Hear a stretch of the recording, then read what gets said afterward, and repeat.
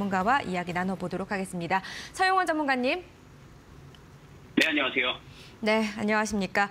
시장 흐름 계속해서 좋지 않습니다. 물론 지금 중국 쪽은 한 3, 4%까지도 빠지고 있는 상황인데요. 우리 시장 코스닥 같은 경우는 2% 넘게 낙폭을 계속 키우고 있는 상황인데 어떻게 보고 계십니까? 네, 맞습니다. 어, 지난 주말에 그래도 미국 시장이 조정을 받을 때 한국 증시가 금요일장에서 어느 정도 나름대로 선방을 하는 모습들이 나타나줬었는데요. 그 선방하는 흐름들이 나타날 수 있었던 요인은 연기금과 기관성 매수세가 좀 뒷받침이 됐었기 때문입니다. 하지만 지금 미국의 빅스텝의 75bp까지 나오다 보니까 오늘은 그 부분들을 좀 방어하지 못하고 외국인들도 어, 팔자세가 계속 이어지고 있고 특히 외국인들의 거래소 매도가 어, 좀 눈에 띄게 좀 늘어나고 있는 모습들을 보여주고 있는 상황입니다.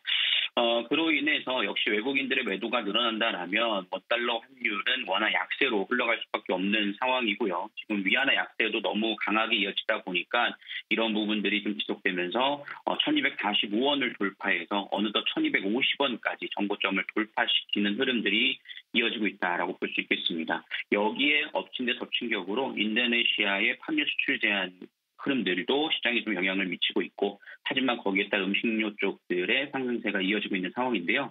결국에는 미국의 빅스텝에 대한 우려감들은 좀 완화되는 현상들을 좀 보여줘야 될 것으로 판단이 됩니다. 하지만 이번 주부터는 이제 미국의 FOMC 위원들은 어, 블랙아웃 기간으로서 이제 금리 인상에 대한 언급을 할 수가 없습니다. 그렇기 때문에 금리 인상의 우려감으로 추가 하락이 나오기보다는 이번 주에 있을 애플 실적이라든가 구글 실적 그리고 우리가 페이스북으로 잘 알려져 있는 메타라는 기업의 실적에 따라서 우리나라 시장도 추가적인 하락세가 나올지 또는 이 정도에서 방어를 해줄지에 대한 부분들의 여부가 중요하다라고 생각을 해보고 있으니까요. 지금은 실적 장세에 좀 대비를 해서 어, 레이스포트도 실적이 좀 뒷받침이 되는가에 대한 부분들을 확인하시면서 조금 조심스러운 매매가 좀 필요하지 않을까라고 생각하고 있습니다. 네, 알겠습니다. 지금 실적에 대해서 계속해서 강조를 해주고 계신 상황인데 자, 오늘 장에서 그럼 관심 종목으로 본다면 어떤 종목을 보고 계십니까? 네, 지금은 사실 아예 긴 기간으로 좀 장기 투자 관점으로 보시던가 아니면은 좀 단기 관점에서 좀 접근하시는 게 좋을 것 같은데요. 어, 제가 좀 관심 있게 보고 있는 종목은 아미노로직스라는 종목입니다. 예. 어, 아미노로직스는 좀 단기 관점에서 좀 보시면 좋을 것 같은데요. 어, 비천연 아미노산을 생산하고 있고 그다음에 반도체 설계라든가 PBC 설계 쪽도 어, 진행을 하고 있습니다.